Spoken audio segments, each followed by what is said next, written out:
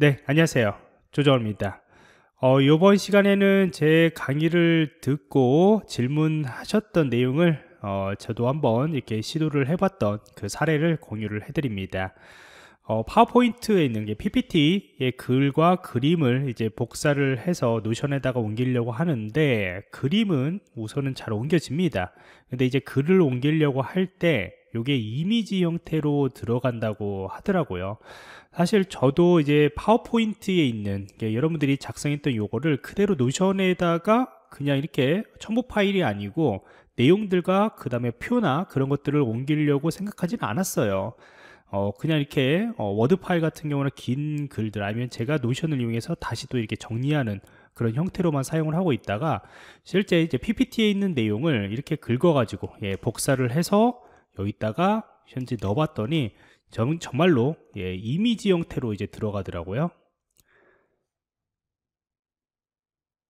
자, 이런 식으로 이제 이미지가 이제 들어갑니다. 요거는 이제 어, 워낙 어, 글이 좀 많기 때문에 한 줄이 많기 때문에 이렇게 작게 들어가는 거고요. 다시 다른 것을 한번 좀 보도록 할게요. 내용은 뭐 보지 마세요. 뭐 내용은 어차피 저희 거 제가 보안 쪽 했던 내용이기 때문에 어, 내용은 크게 보지 마시고요. 자, 이렇게 들어가면은 어, 정말로 이미지로 이렇게 들어가죠. 이미지로 들어갑니다. 근데 요거를 이제 글로 좀 복사를 하고 싶습니다. 물론 이제 방법은 있습니다. 요거를 복사를 하고 난 뒤에 어, 노트패드나 예, 그걸로 예, 옮겼다가 여러분들이 복사를 해도 되죠. 그래서 두 번 이렇게 작업을 하게 되는 건데 조금 더 더 좋은 방법은 한번 고민을 해봤어요. 그래서 어떤 거냐면 여러분들 이제 구글 드라이브를 좀 활용하는 방법입니다. 어, 보통 이제 구글 드라이브를 일부러 활용하는 사례들도 많이 있습니다. 어떤 거냐면 뭐 PDF 파일을 어, 이제 그 다른 형태로 뭐 DOC 파일이나 아니면은 PPT 파일 형태로 바꿔가지고 저장을 하면 그 안에 있는 뭐 PDF 파일을 텍스트를 복사를 할 수 있다거나 뭐 이런 것들로도 많이 활용하는 사례들이 있어요. 그래서 그것들이 좀 생각이 나서 여기다 이제 교육 자료를 올렸습니다. PPT를요. 그 다음에 이것을 이제 열 때 그냥 열리는 것이 아니고 여기 보면 연결 앱에서 구글 프레젠테이션이라고 있죠. 요걸로 이제 열게 되는 거죠. 그래서 이거를 한번 이렇게 열어보도록 할게요. 자 이렇게 열면은 이제 PPT 장표가 나옵니다. 물론 이제 여기에서 글씨 같은 경우나 그 다음에 일부 서식 같은 경우는 깨질 수밖에 없어요. 그래서 이쪽에 제가 저장하고 싶은 부분들을 한번 선택을 해 보도록 할게요. 자 그래서 하나씩 하나씩 좀 보도록 하겠습니다. 좀 시간이 걸린다는 걸린다는 좀 단점은 있습니다. 자 그러면 여기에서 이제 아까처럼 저희가 이 텍스트를 복사를 하도록 하겠습니다 그래서 컨트롤 C를 하시고 난 뒤에 똑같이 이 노션에다가 이렇게 붙이면 이제는 예, 텍스트로 예, 붙이는 것을 어, 어, 복사되는 것을 예, 볼 수가 있어요. 뭐 이렇게 해결하는 방법이 있죠.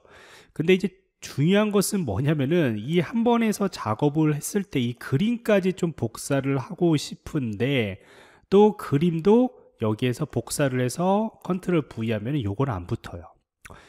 그냥 PPT 여러분들이 local에서 했던 거는요 잘 붙어요 물론 여러분들이 붙일 때도 그냥 붙이지 마시고요. 어, 그냥 붙이지 마시고 어, 컨트롤 V 하시고 이렇게 붙는 경우가 있는데 요것보다는 최대한 원본으로 예, 서식을 원본으로 어, 바꾼 다음에 여러분들이 크기를 최대한 원래대로 하고 난 뒤에 붙이시기를 좀 권고드립니다. 그래서 왜 그러냐면은 줄인 다음에 붙이시면은 일부 그 그림들이 살짝 그 깨지는 현상들이 좀 있습니다.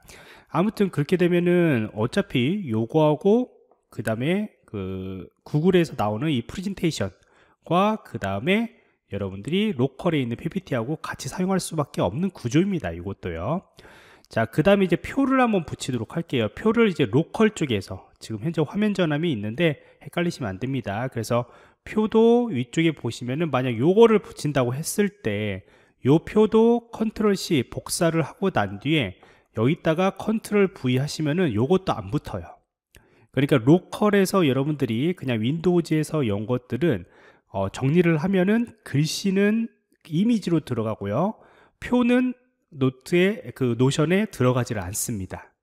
어, 그런데 이제 구글 프레젠테이션으로 열었던 정보를 여기에 있는 요것을 한번 이렇게 복사를 해서 예, 복사를 합니다. 표를 그래서 표를 복사할 때도 어, 이렇게 다 드래그를 해 가지고 복사를 컨트롤 C 복사를 하시고 난 뒤에 컨트롤 V 우리가 붙여넣기를 하시면은 이렇게 또 붙습니다.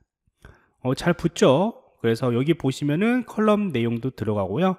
표 형태로 들어가고 여기는 각각에 대해서 또 페이지로 들어가는 것이 있습니다. 앞에는 항상 이제 페이지 형태로 들어가기 때문에 그래서 요것도 이제 바꿔주시면 되겠죠. 여러분들 일부 바꿔주시면 되는데 어, 항상 이렇게 페이지 형태로 들어가게 됩니다. 그래서 이렇게 보시면은 오픈하시면은 또 여기 정보들이 이렇게 나오고요. 그래서 어느 정도는 이제 표 같은 경우에도 유지를 하면서 PPT에 있는 표도 유지하면서 여러분들이 어, 붙일 수가 있어요. 그런데 어, 어차피 예, 두 개, 이게 구글 프레젠테이션하고 그 다음에 여러분들이 윈도우즈에 열었던 PPT하고 같이 활용을 하셔야 한다라는 것이 어, 오늘 이야기인 것이고요. 물론 요거를 이제 다른 형태, 다른 이름으로 저장해 가지고 뭐 HTML 형태 같은 거나 그걸로 좀 이렇게 변환해 가지고 해도 어느 정도는 해결은 할 수는 있을 것 같습니다. 그래서 혹시나 더 좋은 방법이 있으면요. 한번 말씀해 주시면은 네, 저도 잘 활용을 어, 하도록 하겠습니다.